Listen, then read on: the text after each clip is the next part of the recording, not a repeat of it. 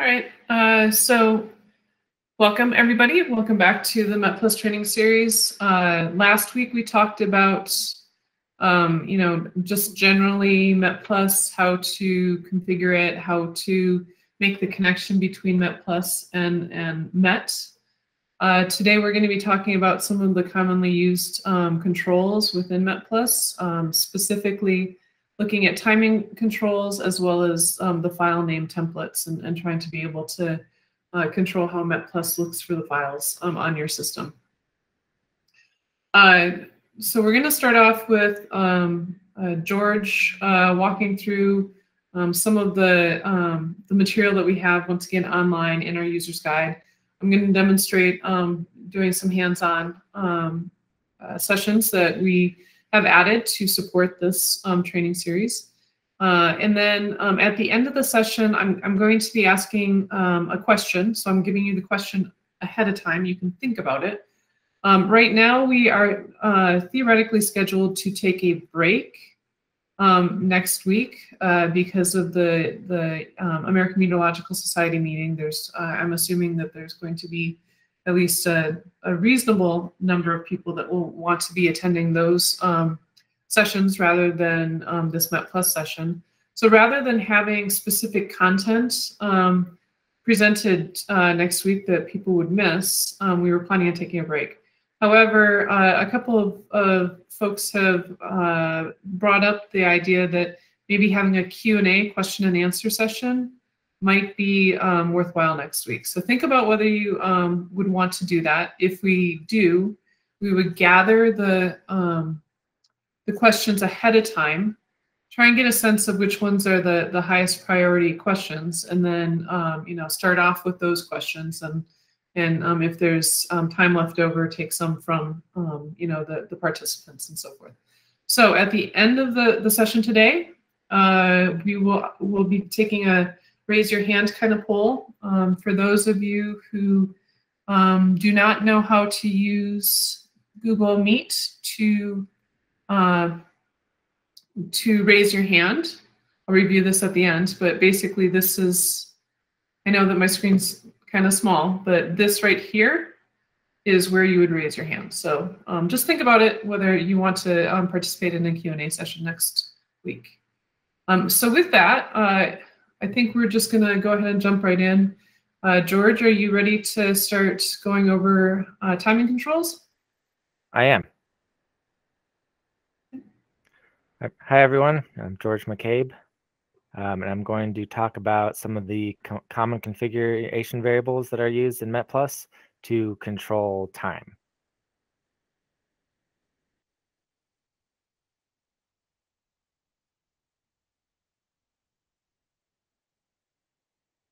Okay, is this text big enough for everyone to see? Oh, hasn't come up yet.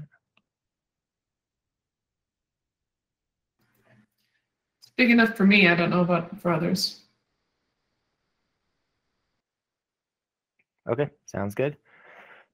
Um, so in the METplus wrappers configuration, um, there's a set of variables that control the timing information. Uh, many of the METplus wrappers are designed to run multiple times, once for each runtime, and build commands based on that runtime. Um, so the first variable I'll talk about is the loop by variable. Um, and this determines if you're going to be looping over valid times or initialization times. Uh, so if the value for loop by is set to init or retro, then looping will be done relative to initialization time. If the value is set to valid or real time, then looping will be relative to the valid time. Um, so we'll go through some examples here. Um, if you have loop by set to valid or real time, we are looping over valid time. Um, and you'll have to set four var other variables. Uh, the valid time format, or FMT, uh, determines the format of the valid begin and end times that you will process. Uh, so here in this example, valid time format is set to percent capital Y, percent lowercase m, percent lowercase d, percent capital H. Um, this stands for year, month, day, and hour. So using this format, um, it the configuration will expect your begin and end times to be set with that sort of time precision. Um, the, the directives here are um, Python string format directives, um, and, and many of those are supported uh, as it uses the Python uh, date time module to build these times. Um, the valid beg is the valid begin time. It's the first valid time that will be processed. Uh, and again, it needs to match the format specified in this valid time format. Uh, so here's another example. If the time format set to include year, month, and day, um, then the valid begin time must match that format and use this precision. So here it will, the first time we'll that we'll process is 2019 on February 1st. Uh, the valid end time is the last time that can be processed, and I'll emphasize can, and I'll explain that um, here shortly. Um, again, this this variable needs to match the time format. Um, so here in this example, uh, valid end time is set to February 2nd. Um, and so the next the next variable is the valid increment. This is the time interval to add to each runtime to determine the next time to process. Um, so the reason I say that the valid end time can be run, but not won't will not necessarily be run, is it really depends on your increment value. So say here if you have February 1st until February 2nd, but your valid increment time is set to two days, it will process February 1st, increment two days, and say, oh, this is past our valid end time, so we'll stop execution. So it won't, won't actually process February 2nd um, even though that's set as the valid end time. So it's good to be aware that all these set settings are set um, properly the way you want to to make sure that you process all the times that you need. Um, the valid increment value, um, by default, uh, the units are seconds, um, but you, there are some other time interval units that you can use to, um, to set in, in case you don't want to. Remember that a year is 86,400 seconds. Um, you can add these identifiers at the end of the time value and it will um, compute the correct time.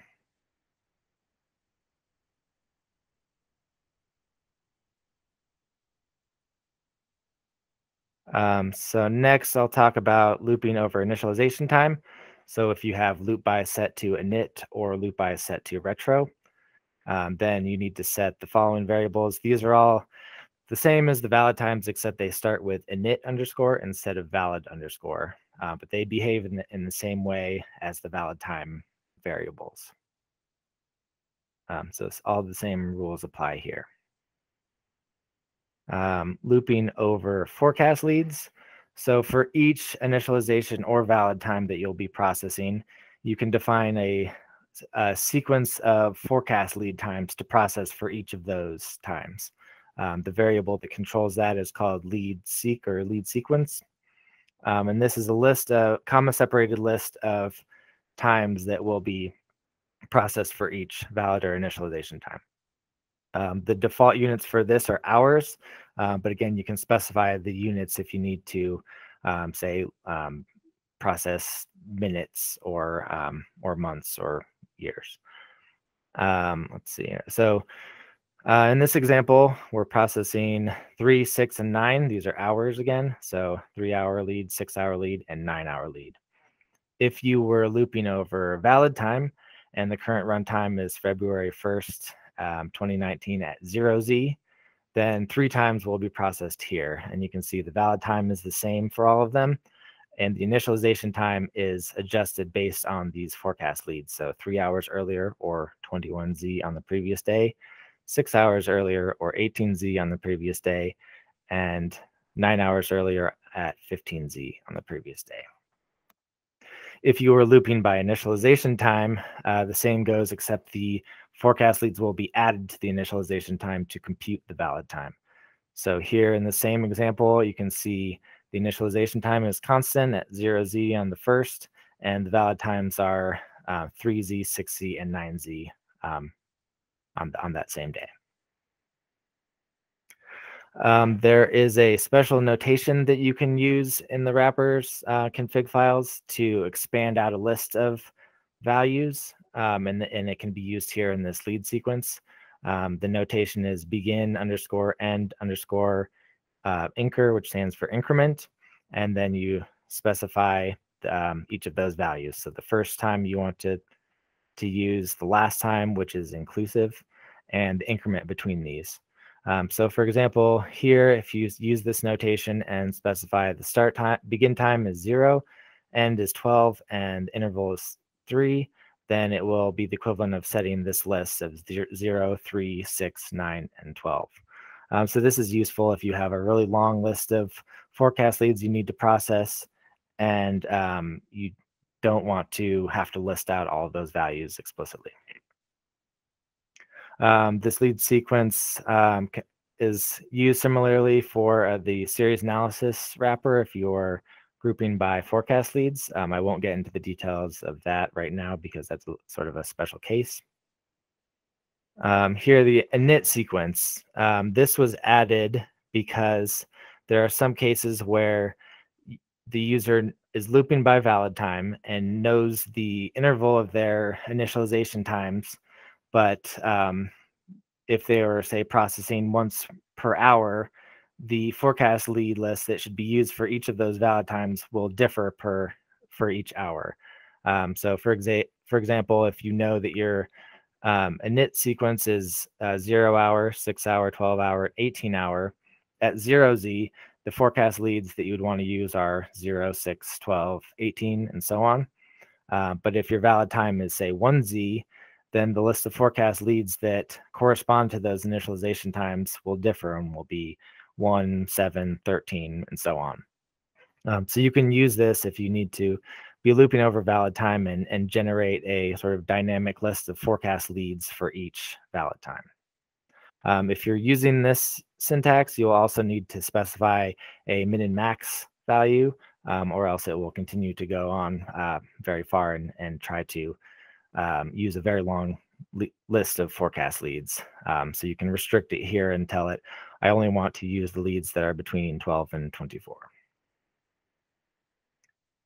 Um, here again is this section I showed earlier, the time interval units uh, that shows the different um, valid notations that you can use to specify time if you don't want to use the default notation.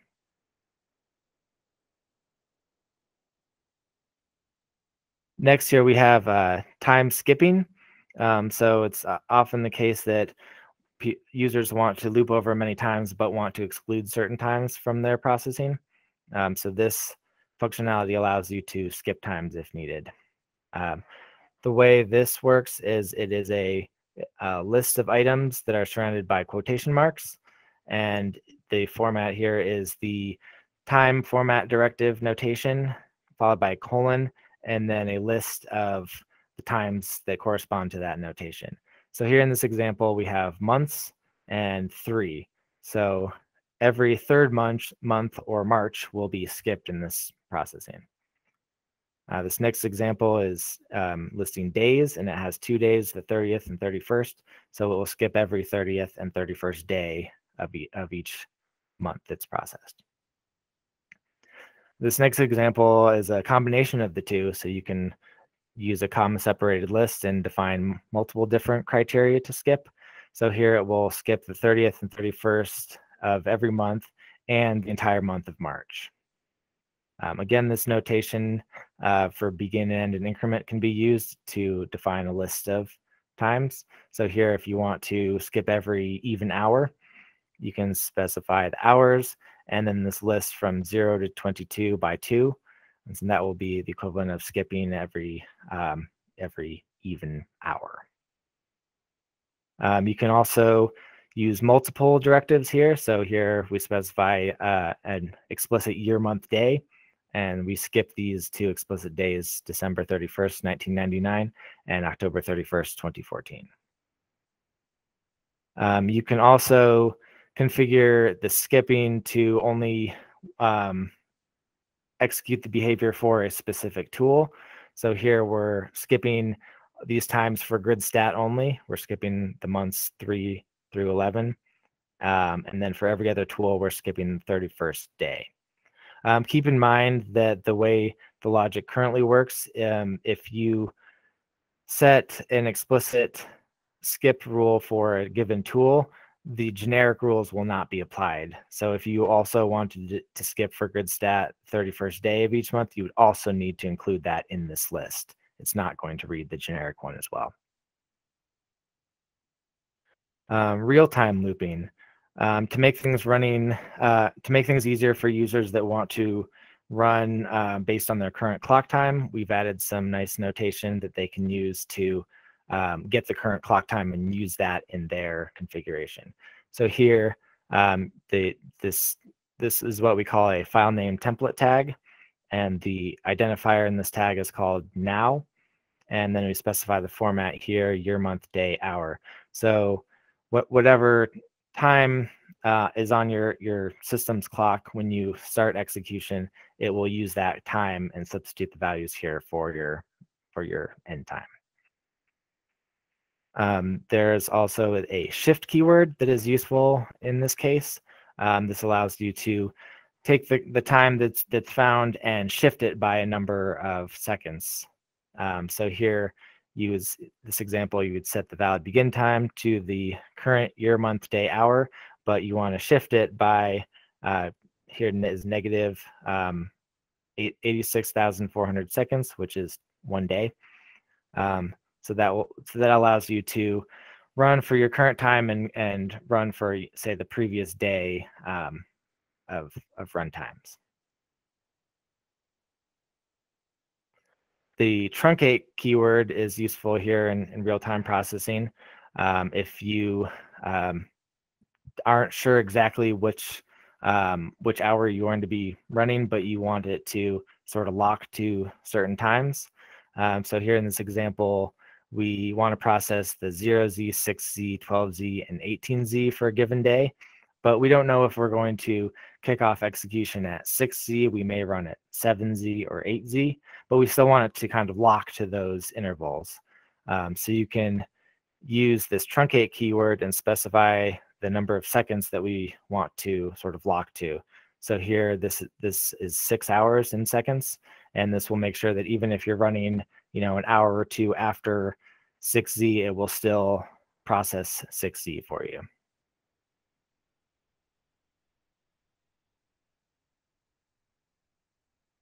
Uh, okay, moving on to the process list. This variable defines the list of wrappers that you will run. Uh, it's a comma separated list, or you can include just a single value. So here in this example, we're just running the grid stat wrapper. And this example, we're running two tools, the PCP combine wrapper and the GridStat wrapper. Um, newly added in version 4.0.0 is the ability to specify an instance identifier for each item in the process list. Um, this allows you to run multiple instances of the same tool with different, different configurations, um, which was not possible to do in previous versions uh, very easily. Um, so here in this example, we have a process list with grid stat with no identifier, and then grid stat again with followed by parentheses and some string. And this string is the instance identifier that will be used um, to pull other configuration variables. Um, so in general, if a tool is run without an instance name, it will use all the variables um, defined normally in the config section.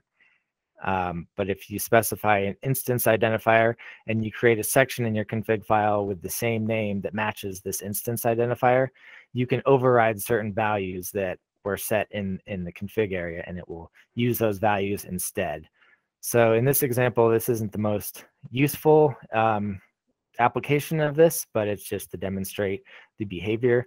So here it'll run grid gridstat twice using all the same configurations except for this instance will use this directory as the output directory, and this instance will use this directory to write, the, write its output. Um, so again, not a great use of this functionality, but here to demonstrate that you can um, configure the same tool in different ways and, and set any number of variables uh, differently based on these two instances. Uh, the loop order determines, um, I, I, like to think of it as the outer loop that's processed. So um, loop, you can loop over times or processes. So looping over times, think of it as the outer loop will be times and the inner loop will be processes.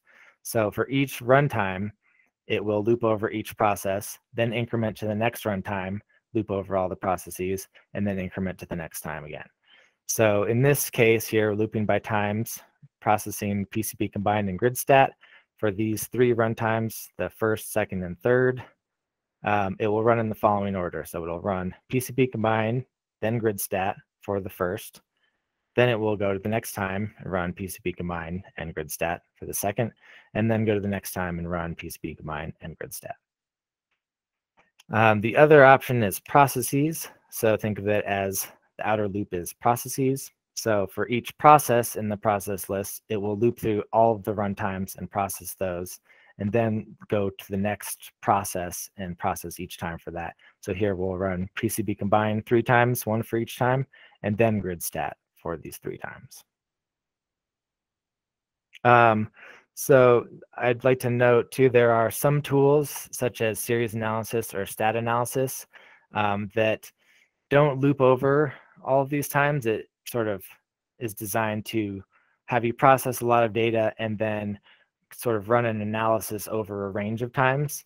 Um, so if you're using one of these tools, uh, you must have this loop order set to processes or it will error out. And um, the, the reason is you don't want to run GridStat once and then run an analysis over the one file and then run GridStat again and run your analysis over two files. It doesn't really make sense um, logically.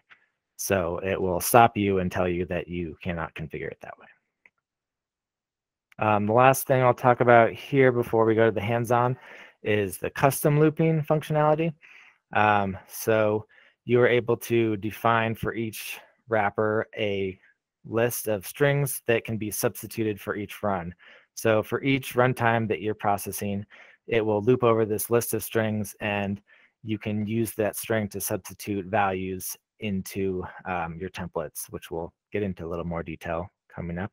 Um, this was added a, a little while ago, and it, it's useful if you have one small thing that's different between your different runs. Uh, say if you're processing a list of ensemble members that are named in a certain way, um, you can set it up to run PCP combine on each of those ensemble members and define the, the directory that you're going to read from um, like that. Um, typically, it, for more advanced cases where you need to run a tool multiple times, the instance capabilities and the process list is really a better way to go as you can change multiple variables and change a lot of different settings for each of those instances. Um, but if there's only one sort of string keyword that you need to change from run to run, then this custom loop list can could, could be useful in that case. Um, so we'll now switch over to Tara, who will go through um, some newly added sections of our online tutorial to um, sort of demonstrate how to use some of these timing control vari variables and see how changes in that config file will affect your runs.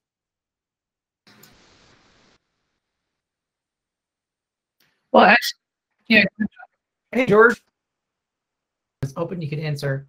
Um, ben Green asked, um, what would happen if you were to configure the times to begin on January 31st, end on December 31st, and loop by one month? Um, good question. Um, so we do support month looping in um, in the wrappers, and so what? Uh, okay, hmm. that's a good question. Um, I am not exactly sure the answer to that. You know, um, in the tutorial, we're gonna in the exercises that Tara's gonna go over. I think you're gonna have an opportunity to play around with it. So Ben, maybe you can figure it out and let us know at the end of this hour what happened. My my guess, which is just a guess at this point, would it would run the last date of each month. Um, so if there's not 31 days, obviously it would process that. But I'm I'm honestly not exactly sure how that would behave. That's that's a great question. Okay, and then uh, an, an, additional question from Benu um, is, will setting process as loop order always um, be a better choice? Um, so I would I would say yes is my opinion. Um, we've actually had some discussions of removing this option as it can be a little confusing and limiting. Um, and so I, I, I typically would prefer to run by processes as opposed to time. Um, I think the the reason we initially allowed users to loop over uh, the times first is they could, if they have many runtimes they're processing, they can sort of get final output from their run um, sooner and be able to sort of look at that output while the rest is running. But really, I, I think a better way to, to handle that would be to configure your um, your use case to process one time, run it, evaluate the output, and make sure that it looks the way that you do before setting a long list of runtimes to process. Yeah. So, and, and um, thank you for bringing that up, George, and and um, for asking the question, Binu. I um, this is actually a great opportunity for us to ask those in the community that are part of this training series. If you um, can, uh, you know, if, if you feel that you can come up with a um, an example, a scenario um, where uh, looping by time versus looping by process is um, important and critical, then um, go ahead and, and, let us know. You can uh, add in um, the information. Uh, it looks like George is, is um, bringing up the issue right now. You could add it directly into the issue, or you could, um, there's a, a, discussion, I think there's a discussion out there also for people to contribute to, which we can put in the, the chat as well. So. Yeah, so I just put the discussion topic in the chat. Uh, so this is sort of soliciting feedback of basically would anybody miss this option um, and sort of some justification on why we think it would be useful to remove it. Um, so removing this option would it would always behave in this sort of loop order equals processes. Um, but of course, if if somebody is you know expecting to have the option to loop by times and they would miss that behavior, we don't want to limit people's experience. We want to make it better. Um, and so if you use that um, that sort of logic and, and you would miss it, then please put a comment here um, noting that. Um, but some of these changes I think would would allow um, some of these tools to be a little more expandable. Um, you could set different runtimes for different tools, and there, there's some other benefits in simplifying the logic. But again, we don't want to limit your experience. We want to enhance it. Okay. Um, so I think we'll move on uh, just so that we can stay on time. So I'm going to um, start into the hands-on training here. Uh, I'm providing the link to um, to the training, but I also wanted to, just refresh your memory as to where you can find this. So uh, Okay, there we go. Um, so if you go to the, the training series to the agenda, and if you scroll down, we're uh, currently in session six.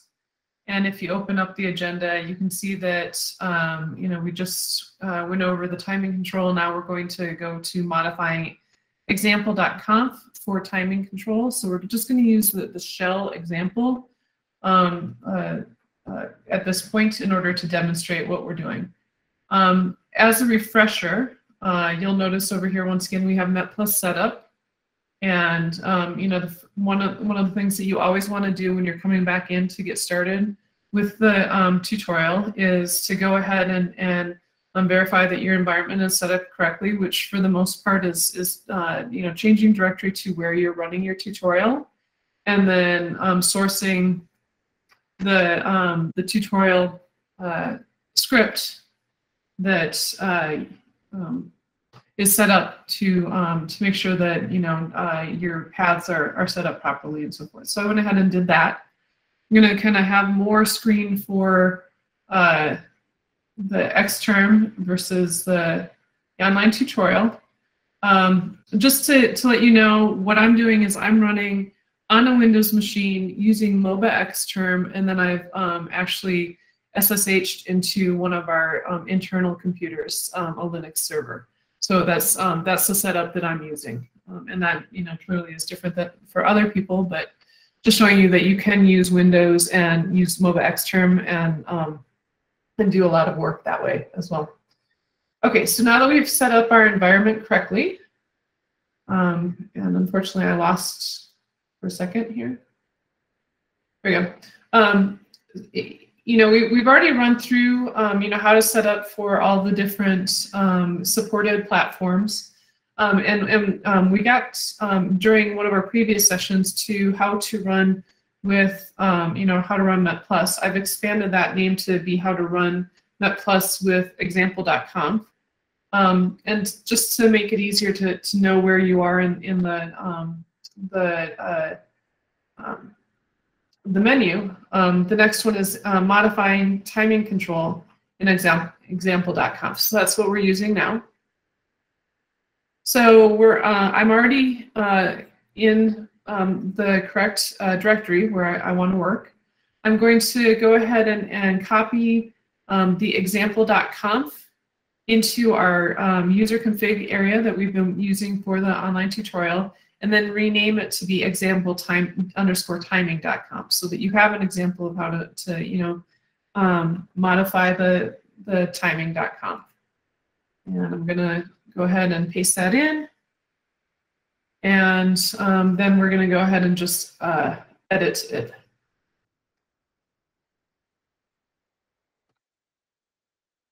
And once again, I'm going to just kind of slide this over to here so that we can see a little bit more clearly. So you'll notice that um, if you if you've seen this before, that um, it's a fairly stripped down um, configuration file.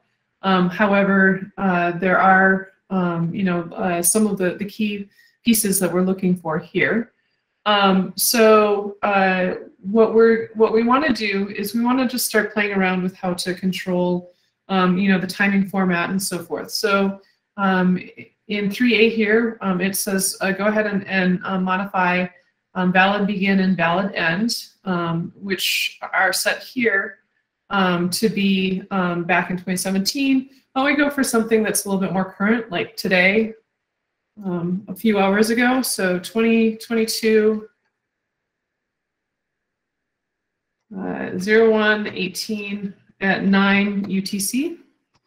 And um, just to, to make it as simple as possible, we're, we're going to um, just only have it look at one time.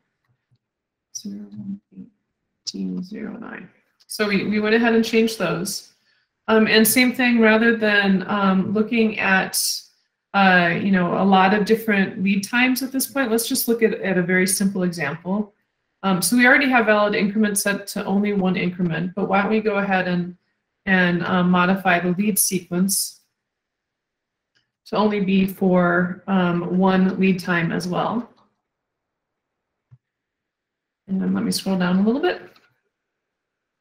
And then if you look over here in the examples 3C, um, we, we do have in this example how you can set up um, you know, some of your custom looping, um, which uh, uh, George just went over.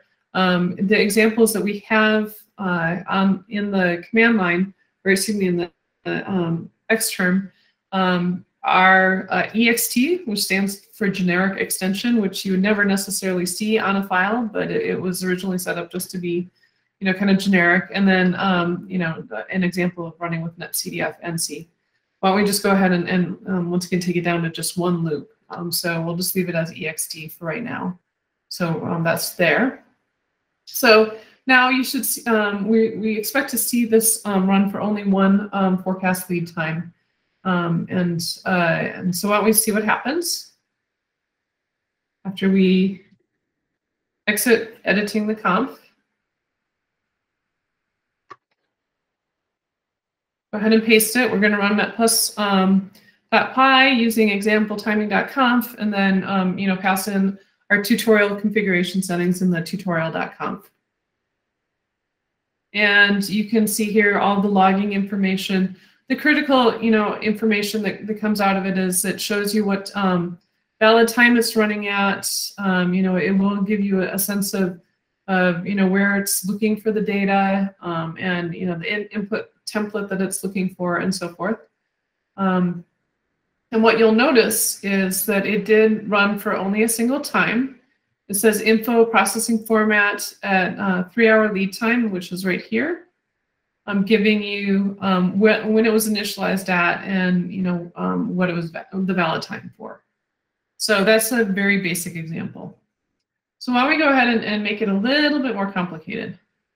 Um, so we're just going to go back and we're going to um, edit. Uh, I use the up key up arrow um, in order to bring up the, the VI um, requirement again. Um, and uh, we want to change from um, the, the valid increment so that we, we look at a little bit more data because, um, you know, we just wanted to see how to expand that. So basically now we're going to change the valid end and valid increment. So we're going to go from um, the 18th at 9 UTC to the 18th at 15 UTC. And um, and possibly, you know, why don't we increase the, the increment of, of um, valid times as well. So coming over here, we're not going to touch valid begin. We're going to just um, touch valid valid end, and we're going to instead look at um, you know, uh, files that are, are generated every three hours or that are um, valid every three hours. And we're gonna, I'm gonna clear the screen so you can see it more clearly. Um, we're gonna basically run the same command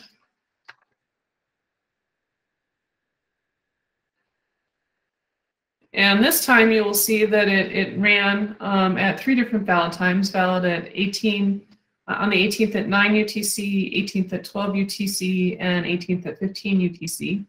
You'll also see that it, um, because it's, um, you know, moving through the, um, uh, because we're running in valid time, that it, in order to keep it constant at a three hour lead time, then the um, initialization um, is also changing. So for uh, something valid at 9 UTC. Um, it's looking at the it's looking at the run that um, was performed at 6 um, UTC or 6Z and so forth. Um, for 12 UTC, it's um, you know at 9Z and um, 12 excuse me 15 UTC. It's looking at the the 12Z initialization. So. Okay, so then why don't we go ahead and, and just flip it around a little bit. And then once again, just arrow up to get to VIing things. Um, and this time, instead of running by valid time, we want to loop by um, initialization time. And so to do that, first thing, as George pointed out, is you change the loop by um, to init. And then um, similarly, you also have to change anything else that references init. Um, like init time format, init begin, make sure you type it in properly, um, init end, and init um, increment. If you don't do this, you will get, um, it, will error out and it will tell you that it can't find those um, those configuration options. So um, pretty much I just um, went through um, 8A, B, C and D here, just changing everything from valid to init and E. And so um, once again, I'm going to clear it so you can actually see what pops up. And we're going to run the same configuration with the same command again. And this time, um, you can see that it's running at different initialization times at 9, 12, and 15. And if you go and look at, um, you know, the information about what it's processing, um, it's looking at the 9Z initialization valid at 12Z rather than you know, looking at something that was valid at 9Z. Now it's looking at something that was initialized at, at 9Z, and, and so it's looking forward. Um, and similarly, uh, you know, 12Z valid at 15Z, and 15Z um, initialized valid at, at 18Z. Okay, so finally, I um, just wanted to demonstrate this because as um, George also mentioned, in order to run, um, you know, uh, some people have um, different terms in their head. So um, some people might think of turning um, running something in terms of uh, retrospective mode or in a real-time mode. So running it uh, with initialization held constant is equivalent to running retrospective. And so if we just go in and, and modify the file one more time, She comes back. Oh.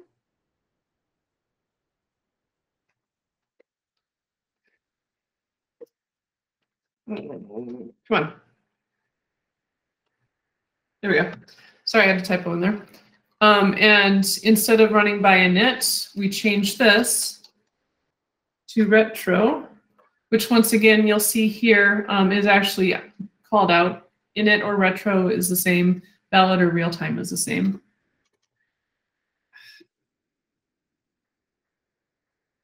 Sorry, let me do that again without typing in extra characters. And we're going to go ahead and clear and just run the, the same commands. Um, once again, I'm just using arrow up to get to that. You'll notice that it's exactly the same time. Init time at 9, init time at 12, init time at, at 15. So, okay. Um, that ends this part of the, the um, hands-on demonstration. Do we have any really quick questions or shall we switch back over to George um, talking about um, file naming conventions? I'm going to go ahead and stop presenting. Did any questions come in?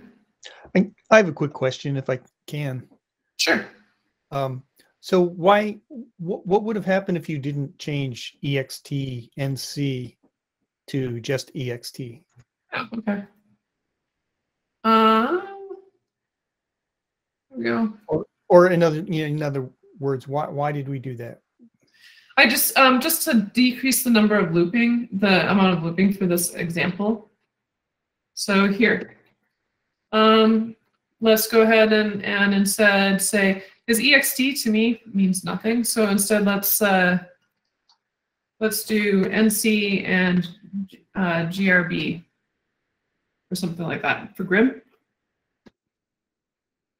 And if we were to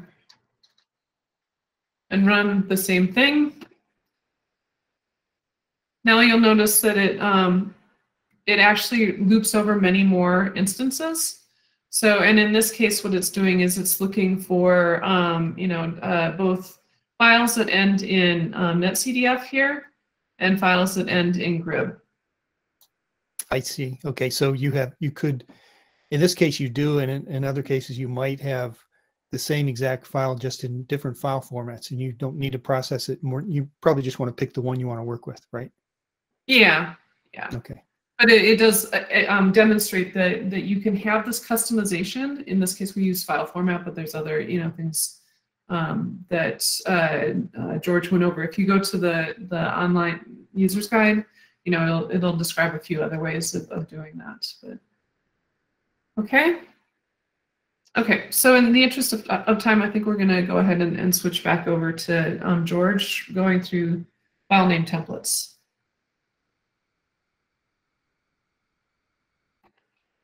Okay, thank you, Tara. So here is a section, uh, continuing the section that we were looking at earlier under the chat system configuration chapter. Um, this is now directory and file name template info. Um, so the METplus wrappers use uh, these configuration variables to um, help you find the files that you need to use for a given run. Um, so you control the timing of the timing variables, and then for each runtime, you can use these what we call file name template tags to find the correct file that you need to use for your run. Um, so here um, we'll demonstrate this with a few different examples. Um, so here, using templates to find observation data, uh, you can specify the input directory. That's the path that all your files will file be found under. Uh, this is sort of the kind of constant um, path that will not change from run to run. Um, and then relative to that directory is a corresponding template um, variable that uses these file name template tags. So in this example, there's this tag, um, it has an identifier and a format directive. Um, there may be other directives as well, but uh, this one just has format. So this is using the valid time and the format is year, month, and day. Um, and then you can see here we have a slash. So this is a directory and then some constant text. And then another template tag that uses the valid time, uh, this time with year, month, day, and hour, and then some extension at the end. Um, so what this does is for a given runtime, it will compute the valid time, um, either from what you're looping or computed from the initialization time and the forecast lead, and it will substitute the values for that given valid time in here and use this to find the files that you need to process. Um, one quick note, um, so in previous versions of the METplus wrappers, there were different sections that contained these variables. So the uh, directory was found under a section called dir or dir, and the templates were all found under a section called file name templates.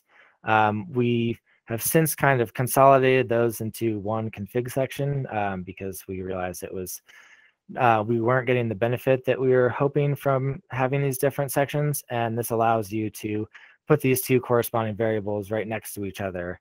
Um, I can show a quick example. Um, so some of the, the configuration files have not been updated yet, some have. Um, so this is an example of the GridStat wrapper. It has this config section, and then all the way down here at the bottom, we have a directory section that has the directory variables, and then down here, the file name template section with all the templates. Um, and we realize it's it's can, it can be a little confusing uh, to have to kind of jump around and say, okay, here's my GridStat forecast template template, and here's the corresponding directory way up here. Um, so we've since sort of consolidated that and allow you to put those two kind of right next to each other, and it makes it a lot easier to see how these sort of work together. Um, so back to here, um, if you're running at a valid with a valid time of February 1st, 2019 at 12Z, um, then the, the path that will be substituted here uh, contains all these valid time values. And you can see there's a subdirectory with the year, month, day, and then the year, month, day, hour substituted into the file name. Um, note that you cannot use any of the file name template tags in the dir directory section uh, variable, sorry. Um, and I will get into um, a little bit of detail of why that is coming up. Um, and I'll, I will also note that if you don't want to use this directory variable and you want to put your full path in the template, that's totally fine as well. Um, but there are some cases where you will need to separate this out. Uh, most of the time, it's really just for uh, ease of readability. It's easy to see these two on two separate lines instead of having a big long template path that wraps around.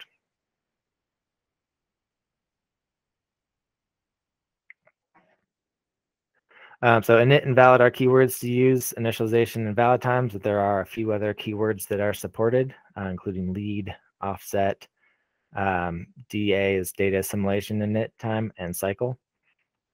Um, so using templates to find forecast data, um, typically forecast files are named, including the initialization time and forecast lead.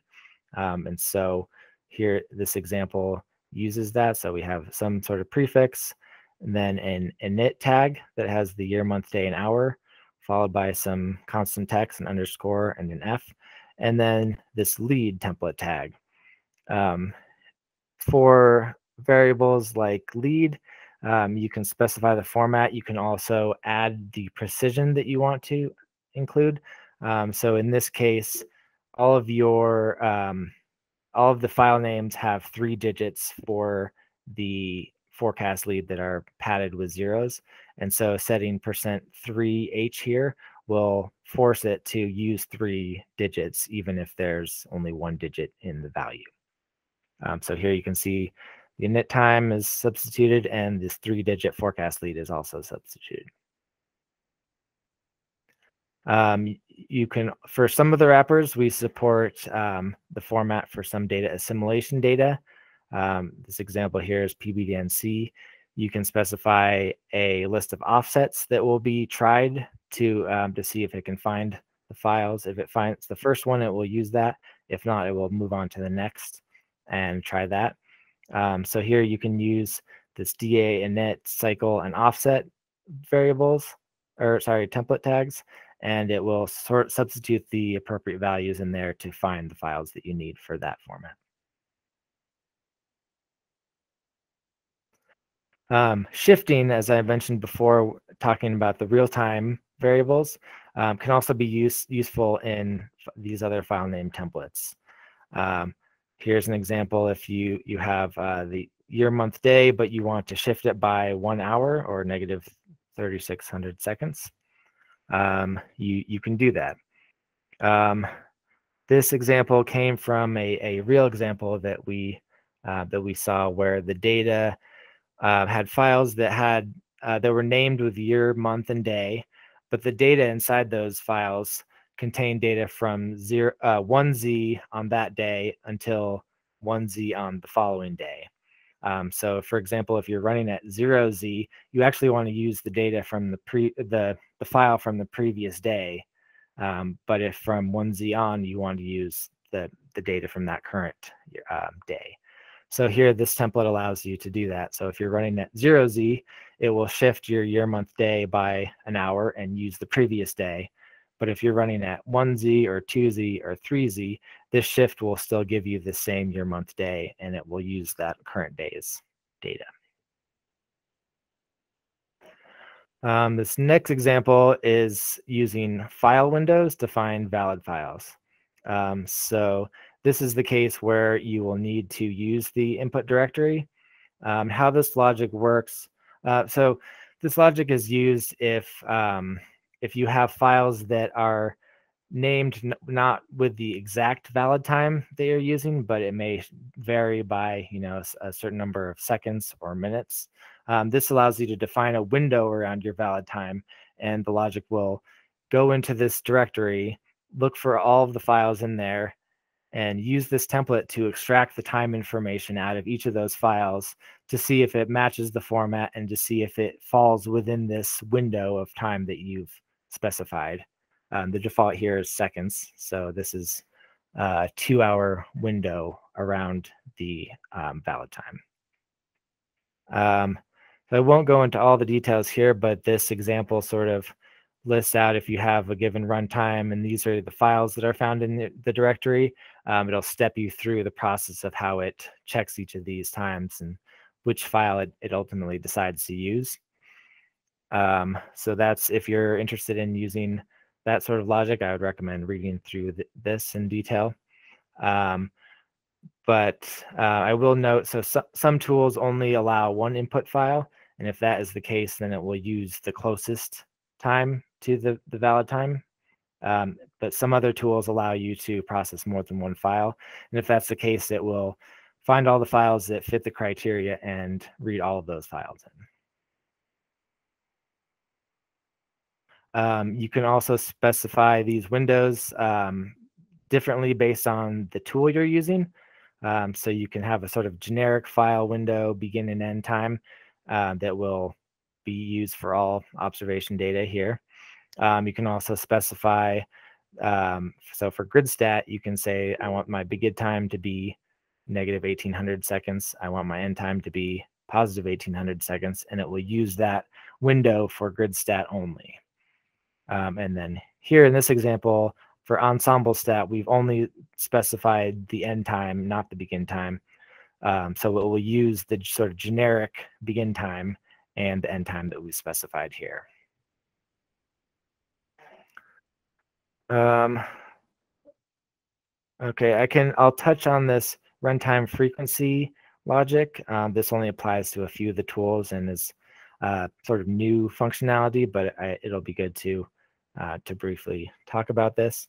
Um, so some of these tools um, you'll want to process um, at different intervals of, of time. Um, some, some tools you want to run it once and process all of the times that are there. Um, sometimes you'll want to run it, you know, once say once per initialization or valid time. Um, and so these tools allow you to sort of specify that frequency to use. Um, so these are the different settings that you can set for these runtime frequencies. Uh, you can tell it to run once, which will process all files, uh, once per init or valid. So if you're looping by init, it will run once for each initialization time using all forecast leads. If you're looping by valid, it will run once per valid time using all of the leads. Um, you can also set it to run once per lead. So it will get all the files that match a certain forecast lead. Um, and finally, you can set it to run once for each runtime. This sort of mimics the behavior of most of the other tools that are run once per runtime. Um, so here in this quick example, uh, we have series analysis and we have a range of times and forecast leads, and we have our file name templates and directory. Um, what this will do is it will go through all of the times in your in your that you've specified in your looping using this template, and it'll find all the files that sort of match that. So here in this example, we find six files. Um, if you've configured it to run once for series analysis, then it will use all six of these files to do your analysis. If you've set it to run once per, per initialization time, then it will group these and run once for each initialization time. So here's 12Z, all the forecast leads, um, or sorry, the 17th at 12Z, all of the forecast leads, the 18th, all the forecast leads, and the 19th. Um, if you were to configure it to run once per forecast lead, it will group all of the three hour forecast leads and run for that, and then run again for all of the six hour forecast leads. Uh, running once for each will run once for each initialization and um, lead time, um, and it'll process six different separate runs. Um, this isn't really a, a useful application of series analysis as it's not very useful to process one time in your analysis, uh, but it just sort of demonstrates how the logic works. Um, there is a wrapper called user script wrapper, which allows you to define your own script to call um, at different intervals. Um, and so uh, that tool would be a useful application to have it run once for each runtime and handle that data as, as you prefer. Um, the logic also builds a list of all of the files that are valid for that given runtime that you can reference in your script. So you can get the list of all the files that match that time and, and use it how you need to in your script. Um, these are sort of more advanced cases, um, but it's good to kind of let you know that it's, it's available and how that sort of works briefly. Um, but um, most use cases likely will not use that uh, um, more advanced functionality. Um, so now I will switch back to Tara again, and she and we'll go through some online tutorial demonstrations to um, change some of the file name template tags and see how that affects your runs. Okay, thanks, George. Um, we are actually at the top of the hour. I really want to um, get a sense of, of how many people would want to do a um, FAQ session tomorrow or next week. So um, let's do that really quick, and then we will go ahead and, and um, spend like five minutes going through the, the hands-on. So FAQs, go ahead and raise your hand. Um, you know, okay. Looks like there's um, plenty, so we'll go ahead and, and um, figure out a, a, way to have an FAQ session that allows people to put questions in and, and um, possibly even like vote up the, the questions so that um, we answer the most commonly used ones. Um, so if you if you can stay online, um, I'm going to uh, go ahead and, and spend five minutes running through our next hands-on so that it's included in the recording. If you can't stay online, go ahead and, and access the recording, you know, after we get it posted. So thanks so much. Let me go ahead and present. Um, Tara, really quickly, I saw Perry asked a very good question. Okay, uh, go ahead. I forgot to explain. Okay. Um, so Perry asked if um, I, I, mentioned these different sections for the directory and file name templates um, are now all under config. Um, you do not need to change your existing config files. There's logic in there to um, go through the list of the sort of previously defined sections and pull all those values in and put them in the config section for you. So no updates are needed to your old config files. Um, it sort of does that behind the scenes for you. All right, so I went ahead and, and put the um, the link to the next section, um, which is the file name template, um, running that using example.conf. It is um, right after the um, timing control um, example. And so you can see that right here. we just, we had gone through timing control, now we're looking at file name template.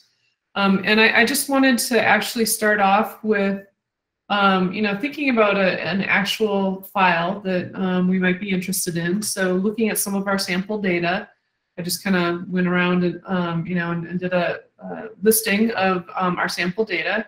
So I, I um, provide that here. Um, and if we look in, you know, the directory for some of the forecast sample data, you'll see that there's um, a file from NAM. Um, it's in GRIB format and it's got a fairly complex naming structure. So um, the first thing I wanted people to think about is, you know, what, what's going to stay constant and what's going to change routinely. So what's in bold is, you know, likely going to remain constant. Um, and then things that are going to change routinely are possibly like the, um, you know, the, the timing information, um, even possibly the name of this grid and so forth, but that's um, a little bit more complicated. So if you think about just timing information, you have um, what's held constant and what's changing, um, and uh, that would convert into this particular example of you know how to handle some of the, the file naming template.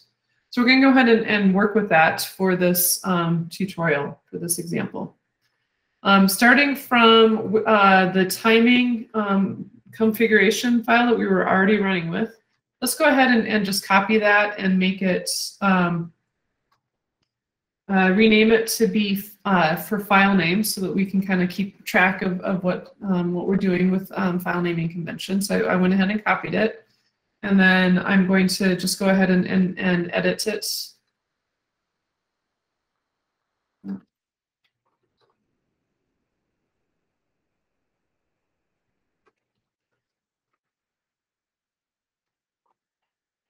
And um, if you scroll down to the bottom, um, this is uh, many times where the, the um, templates are for file names and so forth.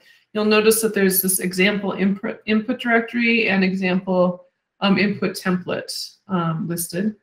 In the interest of time, um, I went ahead and already edited the file because, you know, that way it's just ready to go. excuse me. Uh, so in this case, um, for uh, section four here, we want to change the input uh, example input directory to be um, pointing to our input base directory, um, and then you know the, the path to that. Um, and uh, you may wonder where input base base comes from. I originally had to think about that as well, and then I remembered that when we call metplus.py, we're not only passing in our configuration file, but we're also passing in the tutorial.conf that um, specifies some of the, the routine um, paths that, that we might be using. Um, so uh, if you go in and look at um, tutorial.conf, you'll notice that input basis is um, identified there. And what it's doing is it's um, passing in an environment uh, variable in the METplus data environment that was set up when we were originally setting up the tutorial. So that's where that came from. Um, so I went ahead and typed in input base um, and then the, the path to um, uh, where the, the data should be, um, as well as um, the other part of it is updating the um, input template to be had identified up here as the template for our one file. So that's listed right here. I'm going to go ahead and exit out of that. Uh-oh. I just lost everything. Um, now I'm going to have to type really quick. Because unfortunately, going between MobaXterm and, um, and Windows does not go as seamlessly as what you would like.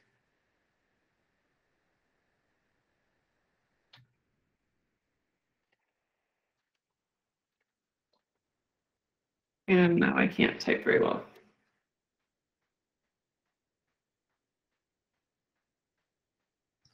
Um,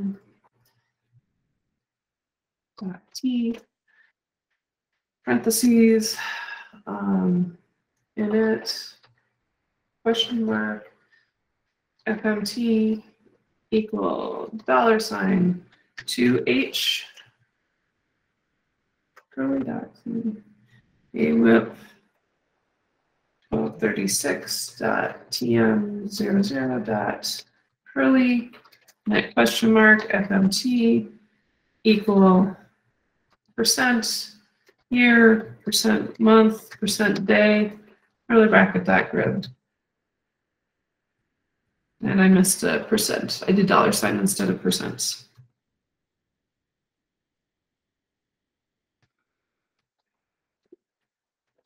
Okay, so um, we've gone ahead and, and edited that. And now let's go ahead and run. I forgot to um, update the, the base directory, but let's go ahead and run anyways.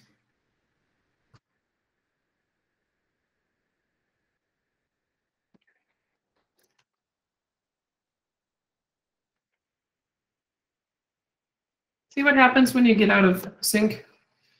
Makes it hard. Okay, so um, you'll notice here that um, what it found was uh, uh, processing um, input, and it says um, info looking for input directory in, in, in um, input directory for file name, and it gives us this file name.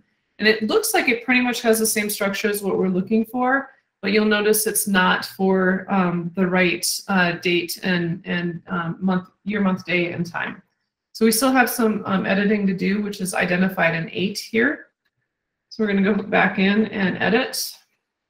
And what we want to do is we'll, we want to just set the um, init begin and end um, for that, just that one file, which is in 2007,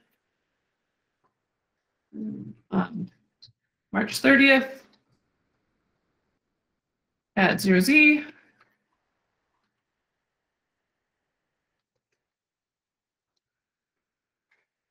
Zero seven, zero three, thirty, zero Z. And I'm gonna sweep back down here and, and get our directory um, sorted out as well.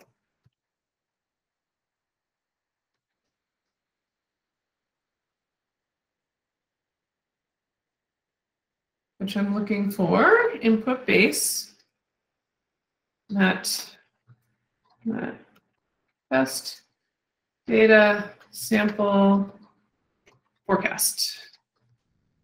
Okay, so we've gone ahead and, and we've modified our um, init begin and end as per what's specified in 8a. And now we're just going to exit out of the, the directory and we're going to run the um, same command. I'm going to clear it so we can actually see what happens going to run the same command. And here now you can see that it did actually um, look for the, the correct file. Um, if you look at the, um, the input directory, you can see that it's looking in the correct place for the input directory. Um, and it's also looking at um, for the, the correct file name. So that's uh, just a really quick example. Um, and then uh, uh, we, we actually set up a, um, a more advanced example um, that is going to be homework for um, at the end of the session. So um, if you go to the end of the practical session one, which um, this is, we're actually finally completing the end of practical session one. We've already uh, run through exercises 1.1, um, 1.2, and 1.3.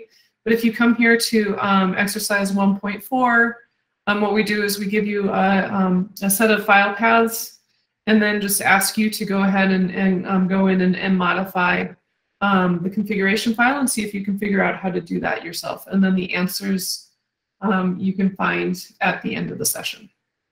So with that, thank you for your attention. Sorry we ran 10 minutes over. And uh, hopefully um, this gives you at least a, a, little bit of an example of how to run with METplus, including the, the file name template. Do we have any um, last questions?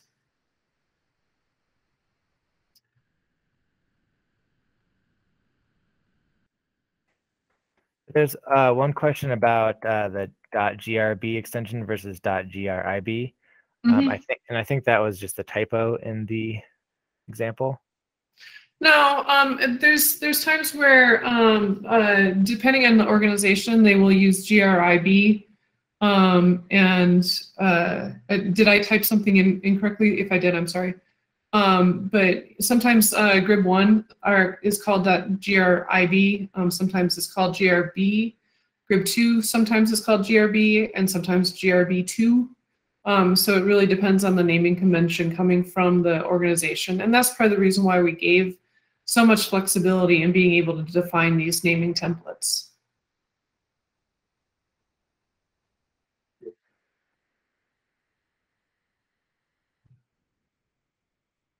Okay, so I, I typed incorrectly. Sorry about that.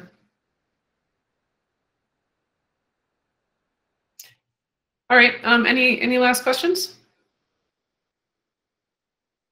Excellent. So um, it looked like we had enough people um, interested in FAQ session next week, so we're going to go ahead and do that. And uh, so uh, I'll update you with how to submit your questions um, in our weekly email that goes out when um, I send out email about the recording. Thank you so much for attending.